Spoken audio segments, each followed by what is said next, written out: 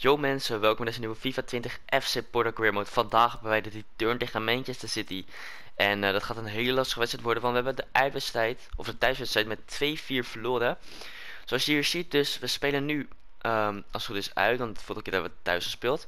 Verder hebben we een wedstrijd tegen Tondela die ik ga simuleren, dan een wedstrijd tegen Sporting die ik ga spelen. Wij zijn momenteel vierde en hun staan uh, derde. En dan ga ik daarna nog deze wedstrijd tegen Santa Clara simuleren. En misschien dat ik deze wedstrijd... Ik ga deze wedstrijd sowieso spelen. Maar misschien dat ik hem nog deze aflevering doe. En dan is gewoon de volgende aflevering. Want deze ploeg is namelijk vijfde en wij vierde. Um, ja, de opstelling had ik al klaarzet voor Manchester City. Hier zie je, we gaan er even heen. Ik heb uh, eigenlijk gewoon de beste elf erin gezet. Behalve Porto. Porto heb ik op de bank. Ik heb Kluivert rechtshalf. Want zoals jullie zien is Porto niet helemaal fit. En dan ga ik hem, ik ga hem gewoon laten inbrengen.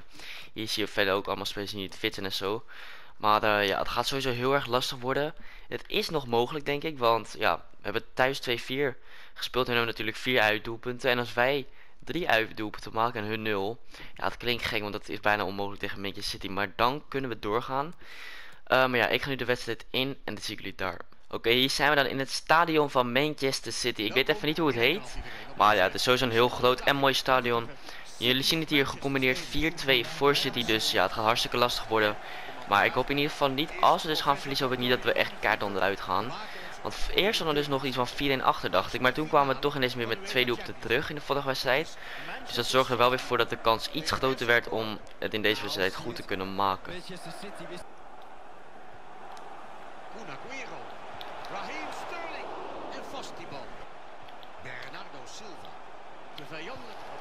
Zo, wat een schot. Maar de keeper met een hele goede redding. En dit is denk ik wel de eerste grote kans voor Manchester City. Wij waren er net ook bijna doorgekomen, maar ja, bijna niet helemaal dus. Hier is City met de kansen weer de keeper met een goede redding. En uh, ja, we zijn nog steeds 0-0 gelukkig en het gaat een beetje gelijk op hoor. City is geen eens zo super goed. Ja, ze zijn natuurlijk wel goed, maar ze zijn niet zo super veel beter dan ons. Oké, we zijn hier in de tweede helft en het zit nog steeds 0-0. Het gaat allemaal een beetje gelijk op. Maar wij hebben niet heel veel kans gehad. City heeft wel een paar grote kansen gehad, maar dat blijft ook wel bij. Misschien dat we het in de tweede helft nog uh, kunnen doen, maar het wordt sowieso lastig. En we hebben ook al, al minder tijd en zo. En ja, we moeten minimaal drie uitdoepen te maken. En anders gaat uh, City gewoon door. Hier dan? Oh, jammer. Nou, als we twee keer scoren, dan gaat City gewoon door. Omdat hun dus meer uitdoepen hebben dan ons. En um, als we er drie scoren, dan gaan we wel in één keer door. Maar ja, om nog drie keer te scoren binnen, binnen één helft tegen City is echt heel moeilijk. Oké, we hebben een corner. Rodriguez, geef hem maar voor. En misschien kan met hem koppen. Oh, die gaat net naast wat zonde. Oké, Sterling is hier helemaal op de flank. Mile, die komt nu pas aan. En weer de keeper zo. Hé, hey, onze keeper is zo lekker bezig nu, jongens. Hij heeft al echt drie hele grote reddingen gemaakt. Maar dit was wel een beetje een uh, fout van Melen, want hij was gewoon nergens te bekennen. En Sterling kon dat hele stuk gewoon helemaal doorrennen. Ja, en eigenlijk moet Melen hem daar gewoon aanpakken. Ze hebben hier trouwens een corner. Misschien wordt het wat of kunnen we hem wegkrijgen. Nou, niet helemaal. Ze hebben nog steeds de bal. En ja, we moeten hem snel wegkrijgen, want voor hetzelfde gaat gaan ze hier scoren. En oké, het is weer de keeper. Goede redding weer. Oké, hier dan. En hier komen ze, ja. Hier is, zit hij dan met een doelpunt. Ze hebben ook zoveel kansen gehad. En mijn keeper jongens, die is zo lekker bezig. Maar ja, deze, hij kan niet alles stoppen natuurlijk. En vooral niet als er zoveel kansen zijn. Dat is al een uh, goede aanval hier.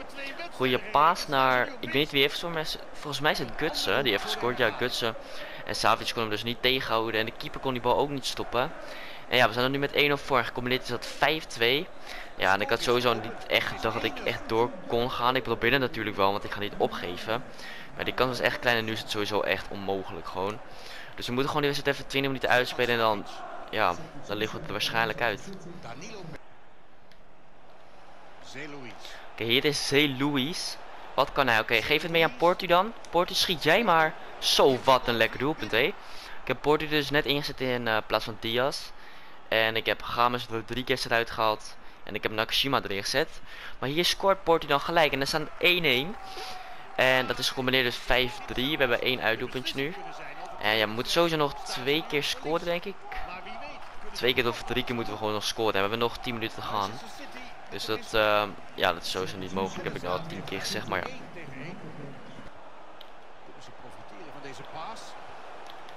Hier is City weer. Ja, ze scoorden de 2-0. Dit was echt een hele goede aanval. En ik zag hem eigenlijk niet aankomen. Er was in één keer een paas naar deze speler hier. En die stond daar gewoon... Die stond daar gewoon en die schoot hem de zo dus in. We gaan het zien. Ja, je ziet hem daar. Hij zat echt tussen die verdedigers een beetje in. En hij stond daar een beetje stil. Mijn verdedigers gingen er ook niet voor om hem tegen te houden. En dan nam die bal één keer aan en schoot toen gewoon gelijk erin. Ja, dan zijn we nu tweede wachter. Het is weer Gutsen trouwens. Ja, we hielden het echt bijna de hele wedstrijd gewoon vol voor die 0-0. En dan hier in het laatste kwartier, laatste 20 minuten, gewoon drie doelpunten in één keer. Twee van hun en één van ons. We zitten trouwens ook in de 90 minuut, 91 minuut. En uh, ja, City aan de bal. We hadden sowieso niet te heel veel kunnen doen deze wedstrijd. Het is gewoon zo zonde dat we gelijk tegen Manchester City kwamen. Gewoon gelijk een van de beste clubs in de Champions League. Want als we een andere club hadden getroffen die wat minder goed was, hadden we sowieso misschien nog wel een ronde door kunnen gaan met ons team. Maar ja, tegen City is gewoon lastig en is gewoon anders. Het wordt elk moment afgefloten. Ja, dat is nu. We verliezen dus met 2-1 uit. Dat we dus met 2-4 verloren. En dat betekent dat we uit de Champions League liggen. Dus geen Europees voetbal meer dit seizoen. Oké, hier zijn we dan weer. Zometeen zullen alle wedstrijden zijn gespeeld. Dus we kunnen die even bekijken en zo. Kijken wie er allemaal door zijn. Verder hebben we een berichtje van Savic. Hij bedankt me. Nou, ga zo door. En dan ga ik wel even kijken op de kalender wie we inhalen. Volgens mij was het... Um, even kijken. Het was Tondela. Dus dat betekent dat die... Uh, dat dat de volgende wedstrijd is. Nou, dat moet denk ik wel gewoon gaan lukken. We gaan wel even een andere opstelling klaarzetten. Ik ga gewoon even kijken wie allemaal fit genoeg is. En daarna hebben we Sporting. Er zit wel wat tijd tussen. En ja, we hebben trouwens eerst een transport voor Laum. Daar ga ik even op in. Hij is 8 miljoen waard, 24 jaar. En speed is 7 miljoen. Ja, daar gaan we natuurlijk meer uit proberen te halen. Even kijken hoor, wat zullen we doen? Ik denk dat ik begin met 11 miljoen of zo. Oké, ik begin met 11 miljoen. Kijk wat hij zegt. Um, nieuwe transfer voorstellen 11 miljoen. Zo, 3 miljoen boven zwaar, dat is denk ik wel een goede prijs. Nou, 7,5 miljoen is echt veel te weinig, jongen. Meneer van... Uh, hoe heet die club eigenlijk? Is het Hofheim of zo volgens mij? Ja, waar, waar is hij mee bezig? Uh, 10 miljoen maar. Voor 7,5 miljoen ga ik hem echt niet verkopen. Ik ben ook niet gek. Hier, Hofheim ben je helemaal gek geworden. 7,9 miljoen. Hij is 24 jaar. Het is niet dat hij al 35 is. Uh, nou, doe ik wel voor 9,9 miljoen. Kijk wat hij zegt. Nou, oké, dan... Ja, je hebt ook gewoon pech gehad, jongen. Die vertegenwoordiger van Hofheim. Denk dat hij even Laum, een speler van 24, van 8 miljoen, kan kopen voor 7 miljoen. Ben je helemaal gek geworden. Um, halve finale beker bereiken zie je nu rechtsboven bij de catalogus. Even kijken, want hebben we iets van een beker? Nee, we zijn echt al bijna klaar met uh, dit seizoen. Hier hebben we nog twee wedstrijden gaan. Dan gaan we hierin. Dan hebben we de volgende. Ik denk dat de volgende aflevering ook gewoon alweer de laatste aflevering van dit seizoen is. Het is echt een kort seizoen dit. Vooral omdat we dus vroeg uit de Champions League liggen. We hadden ook helemaal geen bekerwedstrijden gehad. Omdat we die dus... We kunnen geen beker spelen. Ik denk omdat we vorig jaar hebben gewonnen. En dat als je hem wint, dat je dan het jaar erop niet meedoet in de competitie. Ik denk dat dat het is. Maar uh, ja, we hebben nu Tondela. Ik ga even verder simuleren. De opstelling klaarzetten. En dan gaan we zo simuleren. Oké, dit is de opstelling waarmee ik ga spelen. Uh, ik heb Manava in de basis gezet, Leiden en Silva. En uh, ja, we gaan simuleren, we spelen thuis. Ik weet niet wat de vorige wedstrijd was geworden toen we tegen hun speelden, maar ik denk dat we hadden gewonnen. Nu gaan wij, wat, wat is dit jongens, gelijk spelen tegen Tondela. En de keeper is geblesseerd, nou fantastisch. Ik ga even op de stand kijken waar ze staan, want dit vind ik heel, heel erg apart. Wat we net aan het inlopen op de top 3 en zo, gaan we gelijk spelen tegen zo'n slechte club. Oh, ze staan zevende, oké. Ze staan zevende. Nou, ik dacht eigenlijk dat ze wat meer onderaan stonden. Maar dat is dan jammer. Want dan lopen we dus uh, wel twee punten mis. Want misschien dat we hem wel nog kunnen winnen. Als ik met betere spelers zou gaan spelen. Uh, Silva gaat de leiding omhoog. Dat is mooi. 77 deed het alweer. En hij gaat hartstikke lekker. De man van de thumbnail natuurlijk. En ik weet niet of ik na dit seizoen nog een seizoen ga doen. Maar laat dat even in de comments weten. Willen jullie dat ik na dit seizoen nog een seizoen ga doen? Maar dan ga ik vooral veel spelen met uh, Silva. En dan gaat hij sowieso veel basis spelen. En dan is hij gewoon echt een goede um, spits. We hebben opnieuw een transferbod voor Laum gekregen. We gaan onderhandelen dit keer van Atalanta. En zij bieden nog minder dan Hofheim. Zij bieden namelijk 6,8 miljoen. Dus um, ja, ik begin met 10 miljoen. Ik denk dat 11 miljoen wel een beetje te veel is voor, voor hem. En dan ga ik wel even kijken wat we eruit kunnen halen. Uh, dus 10 miljoen begin ik. Oh, even kijken, 10 miljoen. Uh, zo. En misschien wordt het wat. Nou oké, hij wil niet eens meer verder onderhandelen. Dan heeft hij gewoon lekker pech gehad.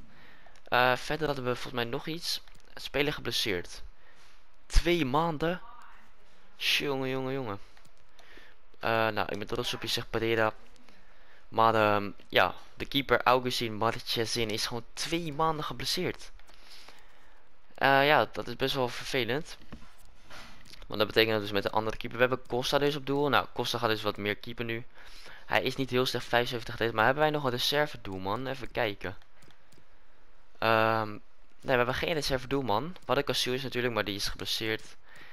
En ja, hoe heet het? Uh, Doeke deze weer terug aan het komen van zijn blessure. Maar dit is wel vervelend. We hebben dus nu gewoon één keeper. En als Costa geblesseerd raakt, zijn we echt de lul. Dan hebben we gewoon geen keepers. Dus uh, hopelijk gaat hij niet geblesseerd raken. We gaan even verder simuleren. De wedstrijd tegen Sporting zit er dus aan te komen. En wij zijn momenteel vierde. En Sporting staat één plekje boven ons met vijf punten verschil. We staan wel lekker boven Guaymareas. En volgens mij is het alleen de eerste plaats die rechtstreeks Champions League gaat. En de tweede plaats misschien ook. Of die moet voor ons doen. Maar ja, als wij dus op vierde of derde blijven, gaan we dus Europa. En dan kunnen we geen Champions League spelen. Dus dat is best wel slecht. Um, ja, het wordt sowieso lastig. We hebben nu ook echt niet heel veel wedstrijden meer te gaan. Een stuk of zeven wedstrijden nog te gaan. En um, ja, als we in die zeven wedstrijden niet genoeg punten weten te halen om tweede te worden, gaan we gewoon volgend jaar Europa League spelen.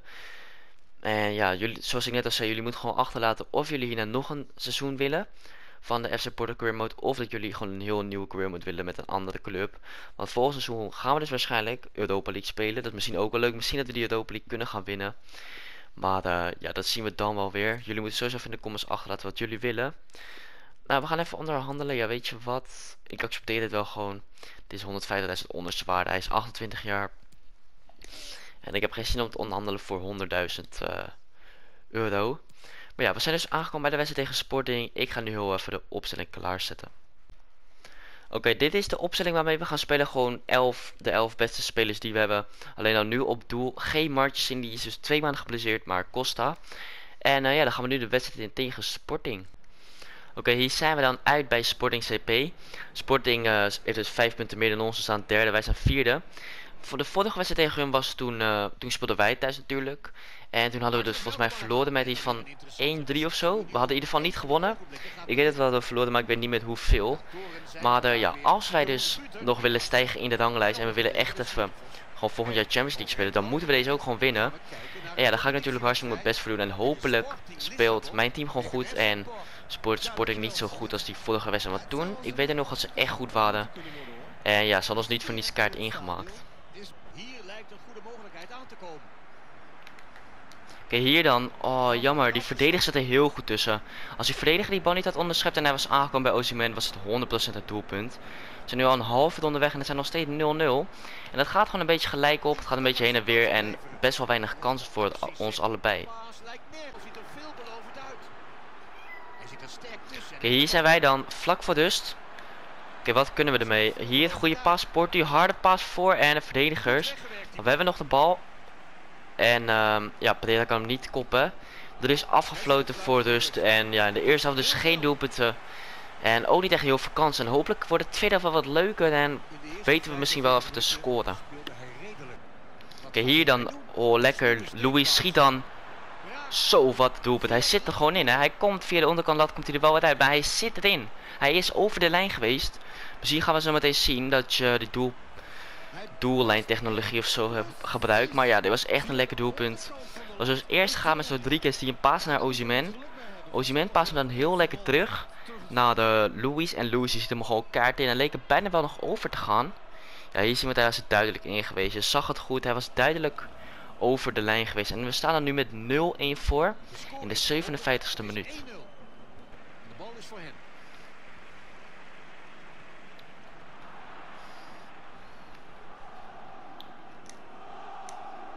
Oh, lekker jongen Melen. En dan paas hij hem zo slecht. Die bal gaat nog wat door de benen van allebei de spelers. Maar Melen die die bal heel lekker daar. Maar ja, hij wist er daar niets mee te doen, jammer genoeg. Oké, we zitten in het einde van de wedstrijd. In de 90ste minuut er wordt bijna wat minuutjes bijgetekend. Twee minuten erbij. Oké, hier is Sporting in de aanval lekker melen. Goed verdedigd. Ze hebben nu wel een ingooi. Ze zijn nog steeds met 0-1 voor. En uh, ik merk nu wel dat Sporting wat meer aan het aanval is, wat meer druk kan zetten, want ze willen dit ook gewoon winnen. Kunnen we weer langskomen. Even kijken, hoe gaan we dat doen? Ja, oké, lekker. Er is al gelijk afgefloten. Lekker jongens. We winnen dus met 0-1 tegen Sporting en dat is hartstikke lekker. Drie belangrijke punten.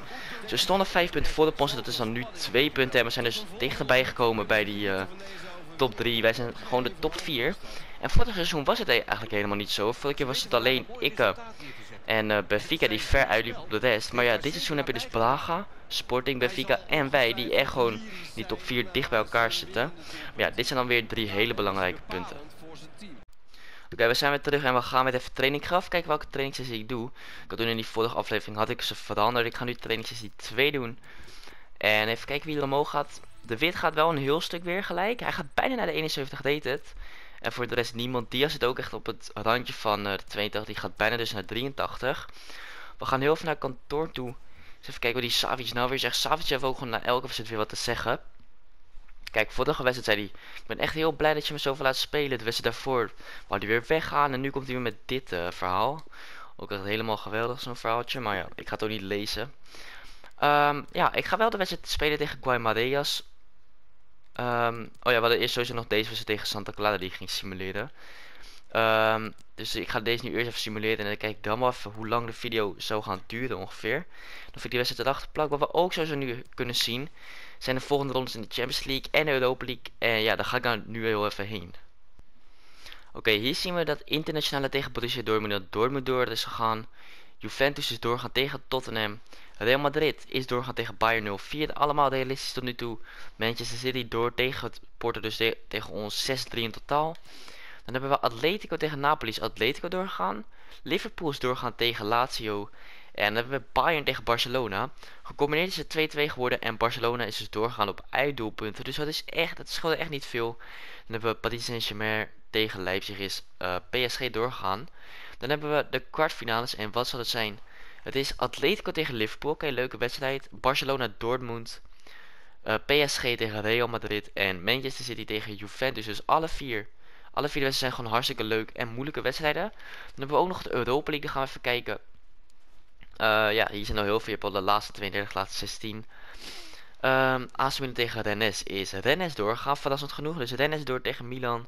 AZ is doorgegaan. Oké, dat doen ze heel goed. AZ is door tegen Benfica. Uh, Roma door. Werder Bremen ook door. In het real life doet Werder Bremen het echt hartstikke slecht. En ergens onderaan in de Bundesliga. Maar op FIFA dus blijkbaar niet. Uh, Bilbao door. Gladbach. Chelsea. En Valencia ook. Dan hebben we hier uh, Lille doorgaan tegen Sporting. De Sporting er ook uit.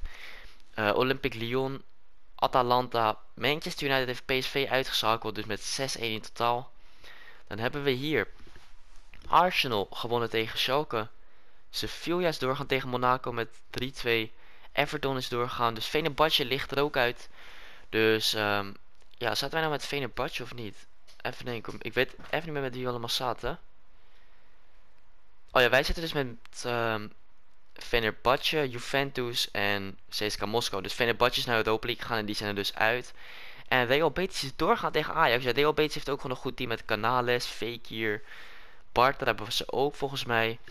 Dus ja, allemaal goede teams. Gaan we even de laatste 16 bekijken. Nou, Lyon door, Chelsea, Arsenal, uh, Manchester United. Real Betis weer de donder verder. Everton op uitdoelpunten. En AZ is nu wel uitgeschakeld, maar die zijn al best wel ver gekomen. Die hebben dus Benfica uit weten te schakelen. En Valencia ook door. Dan gaan we naar de kwartfinales. Olympique Lyon tegen Arsenal. Chelsea tegen Valencia. Atletico Bilbao tegen Real Betis. En Manchester United tegen Everton. Nou, allemaal leuke wedstrijden. Maar ja, wij zitten er niet tussen. Jammer genoeg. City is ook gewoon hartstikke goed. We staan momenteel vierde. Zag ik even snel. Aanbieding Bondscoach Wales gaan we afwijzen. Zo. Maar... Um, ja, Porto. We zijn dus uh, nog steeds vierde, twee punten onder. Sporting, we zijn dus lekker ingelopen omdat we dus uh, hebben gewonnen tegen ze. We zijn nog steeds wel zes punten achter op uh, Benfica, dus dat wordt lastig. We gaan wel even trainen. Nee, ik ga denk even train sessie 1 doen. Die hebben we al lang niet gedaan volgens mij. De Vries gaat omhoog, dat is mooi. 67 heet het. Tavares gaat ook weer een stukje, bijna 80 heet het. En Leiden die gaat niet omhoog. Maar ja, we hebben dus de wedstrijd tegen Santa Clara zo. Ik ga even doorsimuleren. En de opstelling klaarzetten. En ik jullie zo meteen weer. Oké, hier zien jullie de selectie. Nou, jullie zien ook misschien al, modelselectie is gewoon hartstikke slecht. Mijn spelers zijn dus niet in vorm. Ze zijn sowieso niet blij. We liggen ook namelijk uit de Champions League. We hebben geen bekertoernooi en we staan gewoon vierde. Dus dit seizoen is gewoon hartstikke dramatisch. En ja, dat is hartstikke jammer. We spelen thuis tegen Santa Clara en we moeten dit gewoon winnen. Ik ben benieuwd wat het wordt. Het gaat 1-0. Oké, we winnen dus net aan Porto met het doelpunt.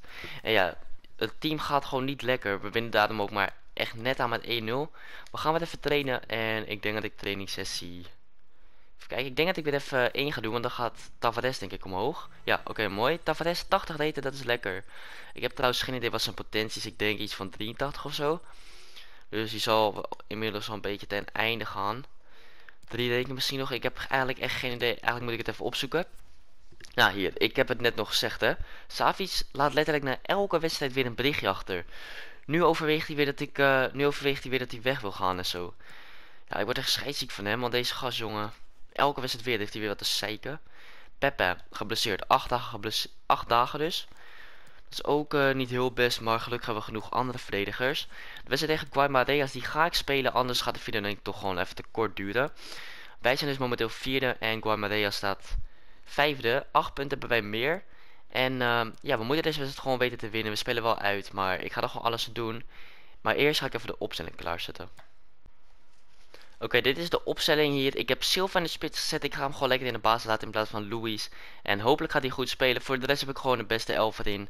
En uh, ja, we moeten gewoon gaan winnen. Oké, hier zijn we dan uit bij Guaymareas. Wij staan uh, vierde, hun staan vijfde, acht punten boven hun. En ja, ze doen het gewoon goed. Ze hebben ook, oh ja, die ene gast, hoe heet hij ook weer? Die rechtsbuiten uit Engeland, die kwam toen van Tottenham of zo. Maar ja, die is echt goed. Die heeft ook in real life een team op de Caesar gekregen. En die zou ook wel wat potentie hebben. Ja, seizoen, we zitten nu in seizoen 2, dus hij zal wel uh, omhoog zijn gegaan qua zijn rating.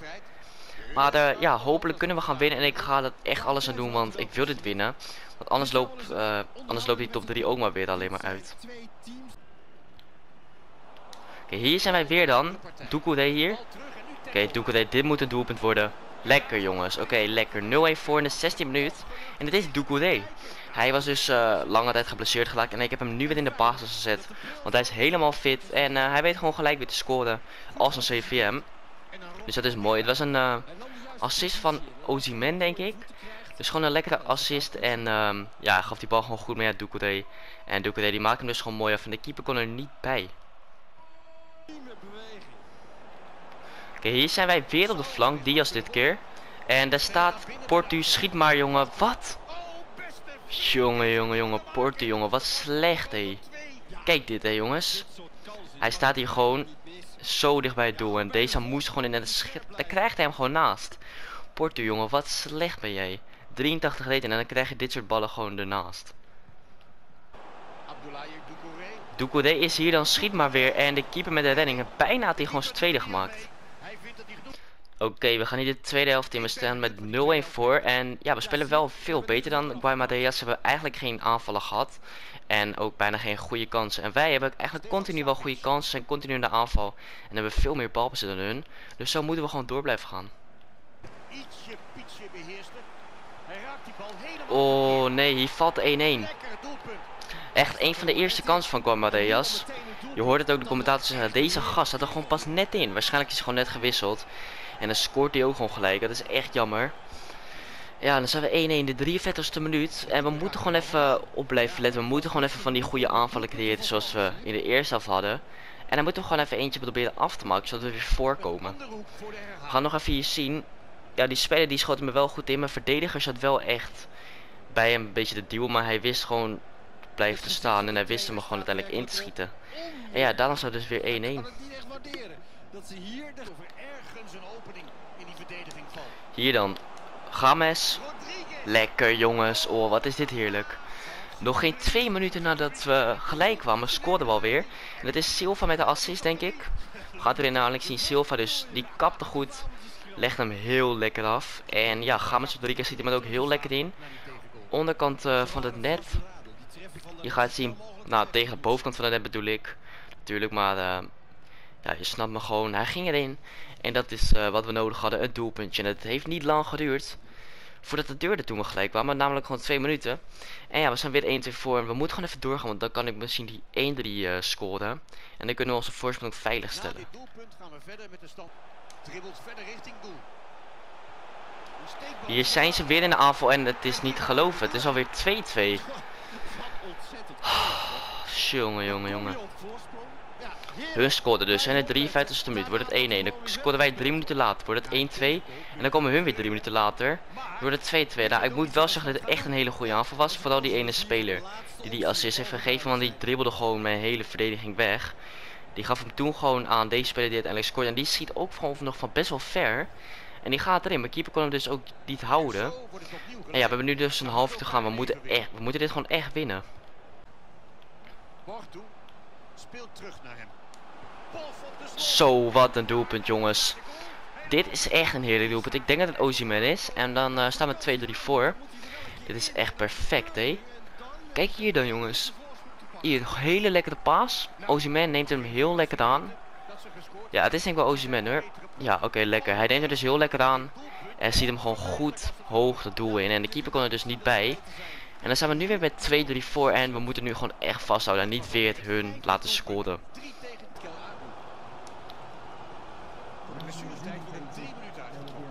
Nee jongens, we zijn hier in de laatste minuut. Oh, lekker keepertje. Wat een lekkere redding.